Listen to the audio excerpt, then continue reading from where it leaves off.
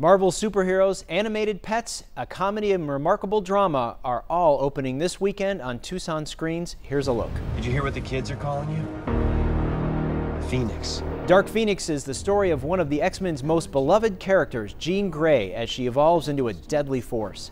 During a life-threatening rescue mission in space, Jean is hit by a cosmic force that transforms her into one of the most powerful mutants of all.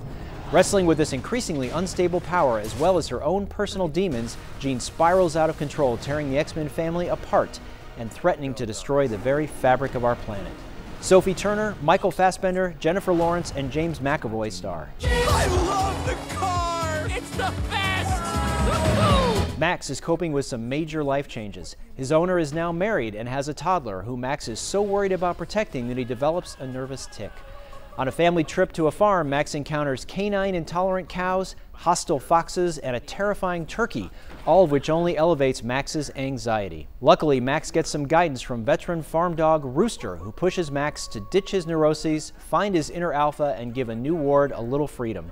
The Secret Life of Pets 2 features the voices of Patton Oswalt, Ellie Kemper, Harrison Ford, Jenny Slate, Lake Bell, Kevin Hart, and Tiffany Haddish. I came to tell you this year is your last. What? Katherine Newbury, a legendary late-night talk show host, has her world turned upside down when she hires her only female staff writer. Originally intended to smooth over diversity concerns, her decision has unexpectedly hilarious consequences as two women separated by culture and generation are united by their love of a biting punchline.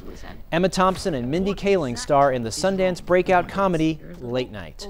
I feel as though I want to not not live my whole life in this very privileged um, part of the world I come from. In the early 1980s, a shy but ambitious film student begins to find her voice as an artist while navigating a turbulent courtship with a charismatic but untrustworthy man.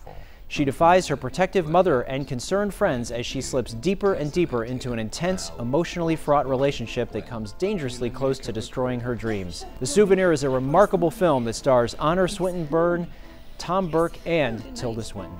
I'm Herb Stratford, News 4 Tucson.